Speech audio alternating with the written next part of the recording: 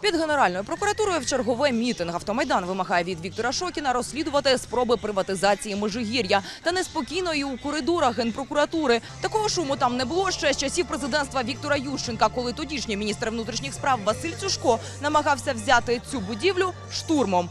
Та не силою, а боротьбою з корупцією нині підкорив відомство заступник генпрокурора Давид Сакварелідзе. Із муками та стражданнями минулого тижня нардепи таки змогли народити, себто ухвалити закон про прокуратуру. Представляти його у будівлю під куполом прийшов той самий прокурорський легіонер Сакварелідзе. Тоді всерйоз у парламенті його ніхто не сприйняв. У кулуарах подейкували, що не сильно він вже й схожий на реформатора. Та кілька днів по тому Давид Сакварелідзе зробив хід конем і пробив собі шлях у серйозне майбутнє, а точніше у один з кабінетів слідчої прокуратури на Борисоглібській.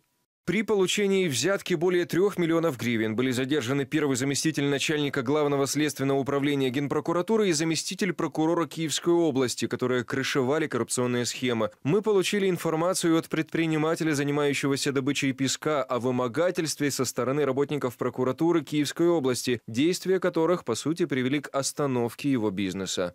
Свою роль у викритті прокурорів-корупціонерів зіграв нардеп В'ячеслав Константиновський. Саме він першим виклав фотографії із уловом прокурорів-корупціонерів, який вдалося віднайти під час обшуків. Це понад півмільйона доларів, 65 брильянтів, зброя, боєприпаси та цінні папери. Нардепа Константиновського давно пов'язують із пісочним бізнесом. Подейкують саме через це генпрокуратура включила його ім'я до переліку нардепів, з яких слід зняти недоторканність, а також причиною виходу парламентаря із народного фронту.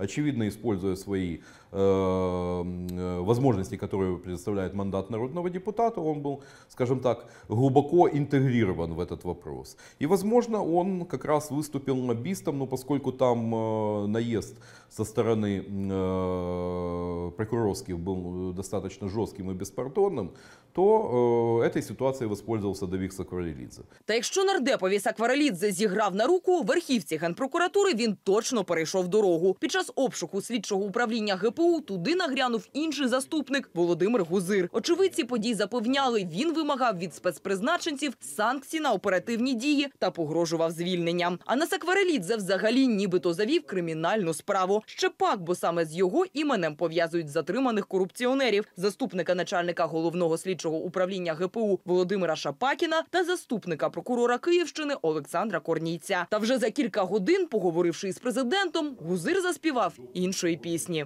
Я вважаю, що це ще одне підтвердження того, що незалежно від того, де вони працюють, в районній ланці, в обласній ранці прокурорської ієрархії чи в Генеральній прокуратурі, спеціальний підрозділ, який створений і його очолює Давід Сакварелідзе, він виконує системно, систематично свою роботу.